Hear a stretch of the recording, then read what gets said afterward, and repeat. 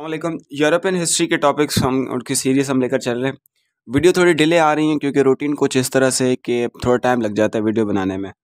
और ये Saturday Sunday और फ्राइडे का दिन मिलता है जिसमें हम थोड़ी, थोड़ा काम करके और वीडियो में बना लेता हूँ। और पहले प्रेजेंटेशन तैयार करनी होती है फिर उसके बाद जो ना वीडियो वगैरह रिकॉर्ड करनी, करना होता है। मतलब ये इन थोड़ा इसको इम्प्रूव करेंगे और डेली बेसिस पे कोशिश करूँगा कि वीडियो बनाऊँ।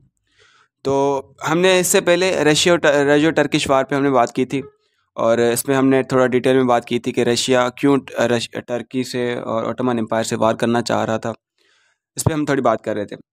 आज की इस वीडियो में बात करेंगे बैलेंस ऑफ़ पावर और ये टॉपिक रिलेटेड था जो रशिया टर्किश वार हमने पहले डिस्कस किया था और ये बैलेंस ऑफ़ पावर के रिलेटेड था।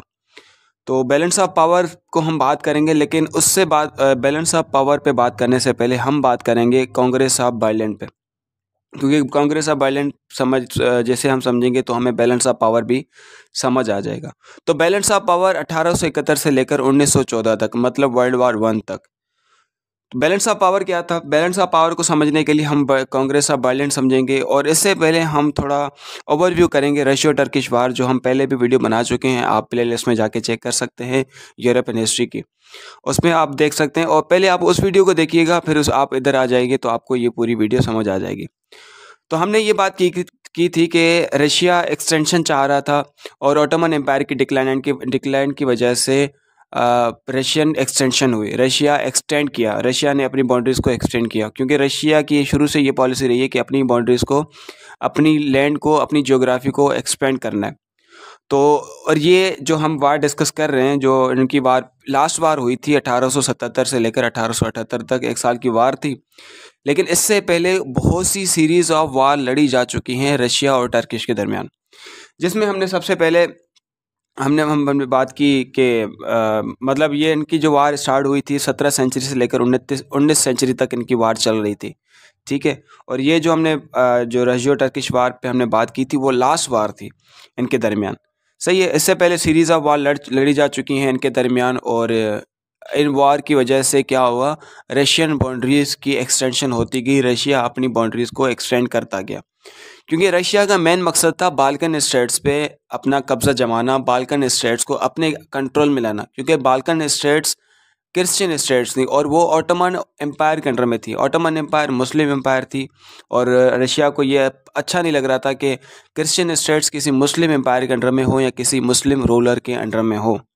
ठीक है तो इसलिए रशिया चाह रहा था कि मैं बाल्कन स्टेट्स को अपने कंट्रोल में लाऊं और रशिया को डिक्लाइन करूँ या रशिया को जो है ना, रशिया को रशियन ऑटोमन एम्पायर को ख़त्म कर दूँ सॉरी तो रशियन टर्किश वार सबसे पहले जो वार लड़ी गई थी रशियो टर्किश वार वो पंद्रह सौ लेकर पंद्रह सत्तर तक मतलब टू इयर्स वार थी और उसमें जो ना कजान को कनकिस किया जाता है।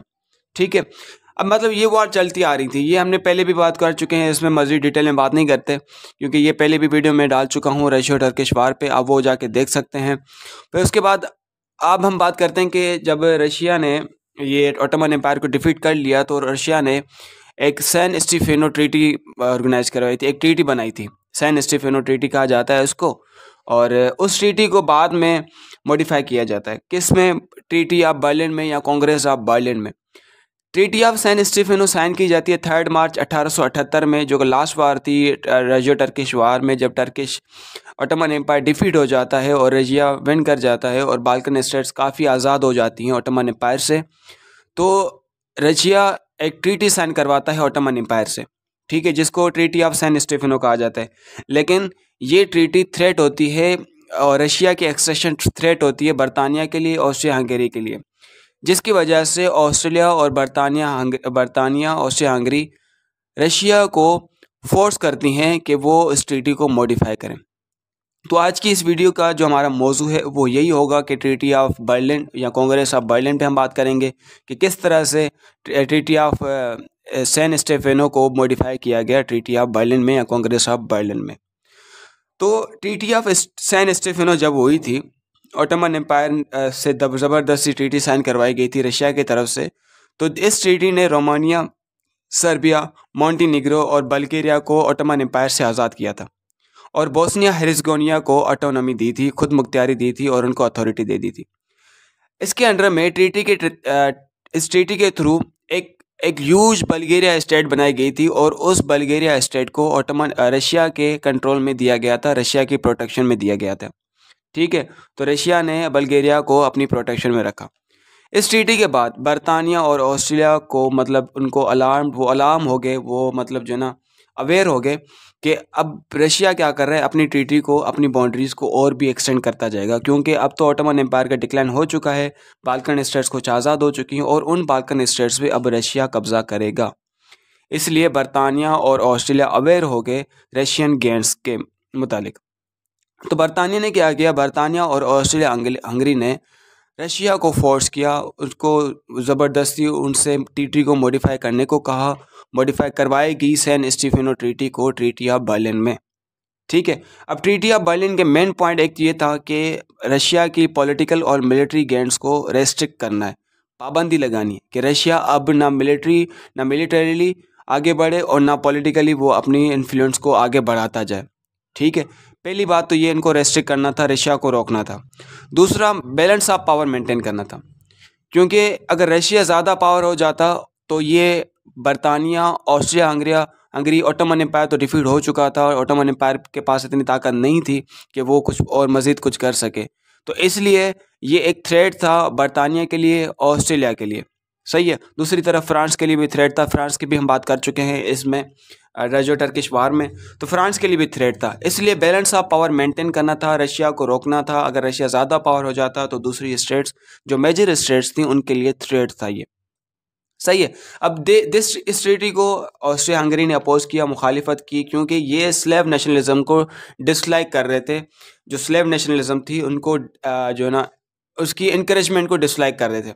और बरतानिया भी ने इसकी अपोजिशन की, बरतानिया ने, बरतानिया भी इसके ख़िलाफ़ था, सैन स्टीफिनो ट्रीटी के ख़िलाफ़ था, क्योंकि इसको डर था, ये जो बल, बल्गेरियन स्टेट है, जो बल्गेरिया बनाया गया है रशिया के प्रोटेक्शंस के अंडर तो ये रशिया की सेटेलाइट बन सकती है। ठीक है सेटेलाइट कंट्री बन सकती है। सेटेलाइट कंट्री का मतलब ये होता है कि वहाँ पे होगी तो वही कंट्री बल्गेरिया होगी, लेकिन उसके जो रूल्स होंगे, उसकी जो पॉलिसीज़ होंगी, उनके जो भी मतलब जो सिस्टम होगा, वो निज़ाम होगा, वो कौन चलाएगा? वो रशिया चलाएगा। ठीक है मतलब एक स्टेट जिसका कंट्रोल किसी दूसरी स्टेट पे हो। सही है, अब बरतानिया नहीं चाहता था कि बल्गेरियन स्टेट रशियन सेटेलाइट बने। ठीक है, जो कि अब क्यों, ये क्यों नहीं चाहता था? क्योंकि बरतानिया कॉलोनी कॉलोनियल पावर था, बरतानिया की कॉलोनीज़ हुआ करती थी तो बरतानिया को अपनी कॉलोनीज़ का थ्रेड था कि वो अपनी कॉलोनीज़ गवा चुकेगा, उसको, उससे अपनी कॉलोनीज़ अपनी चली जाएँगी उनसे, उसके कंट्रोल से। ठीक है, और इस्तंबुल में भी, इस्तंबुल का भी जाने का डर था, क्योंकि इस्तंबुल में भी उनकी अपनी कुछ कॉलोनीज़ वगैरह थी, उनका रशिया के साथ जो ना ऑटोमन एम्पायर के साथ अलायंस था। वो नहीं चाह, बरतानिया नहीं चाहता था कि ऑटोमन एम्पायर का डिक्लाइन हो। क्योंकि बरतानिया को अपना ही डर था कि अगर ऑटोमन एम्पायर का डिक्लाइन हो जाएगा बाल्कन स्टेट्स आज़ाद हो जाएँगी तो रशिया अपनी बाउंड्रीज़ को एक्सटेंड करेगा मेडिटेरियन सी में उसको एक्सेस मिल जाएगा बाल्क ब्लैक सी में उसको एक्सेस मिल जाएगा। अगर ये चीज़ें इनको मिल गई तो फिर हमारे लिए अपनी कॉलोनीज़ में जाना, अपनी कॉलोनीज़ को कंट्रोल करने में मसला होगा। इसलिए बरतानिया नहीं चाहता था कि ऑटोमन एम्पायर का डिक्लाइन हो इस्तंबुल भी जो है ना रशियन टेरिटरीज के अंडर में चला जाए, और ना ही Mediterranean sea eastern Mediterranean sea में रशिया को एक्सेस मिले। ठीक है? सेटेलाइट का मतलब हमने देख लिया कि वो कंट्री जिसको कोई दूसरी कंट्री जो है ना कंट्रोल करती हो और कांग्रेस का मतलब ये होता है कि एक सीरीज़ ऑफ़ मीटिंग जो कि मुसलसल मीटिंग की जाती है किसी एक मसले को हल करने के लिए और उस मसले का कोई सॉल्यूशन निकालने के लिए। ठीक है? तो नंबर ऑफ़ मीटिंग्स की जाती हैं किसी कांग्रेस मतलब इसको हम कांग्रेस कहते हैं।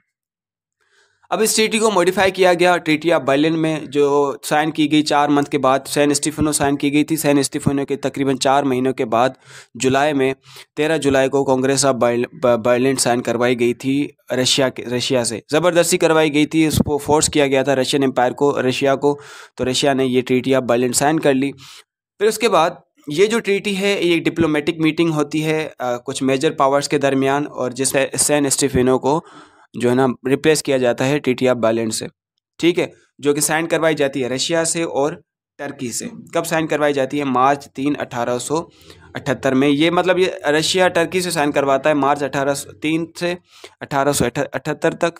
सॉरी रशिया साइन करवाता है टर्की से कब? तीन मार्च अठारह सौ अठहत्तर में। फिर उसके बाद ये जुलाई में ये आ जाते हैं आपके बरतानिया। बरतानिया फिर रशिया से साइन करवाता है। Congress of Berlin, treaty of Berlin forcefully ज़बरदस्ती करवाता है।